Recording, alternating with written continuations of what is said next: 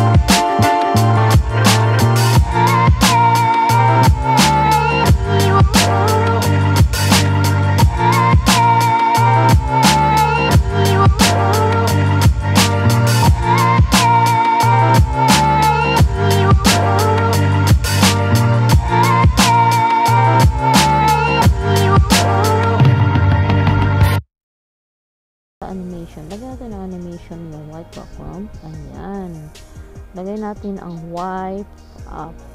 Ayan. Wipe up. Pataas. Ayan. Ayan. Wipe, wipe up.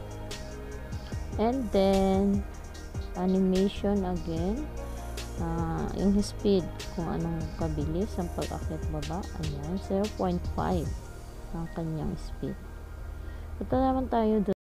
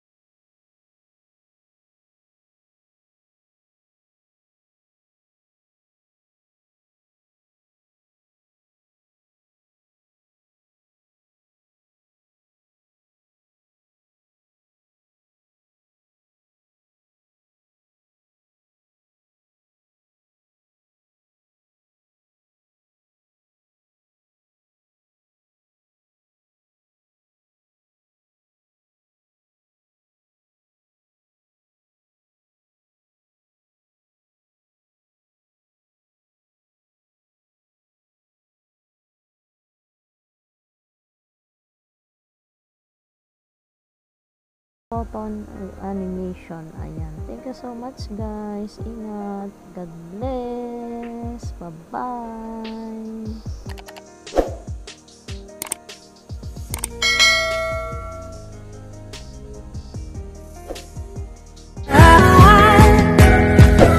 Up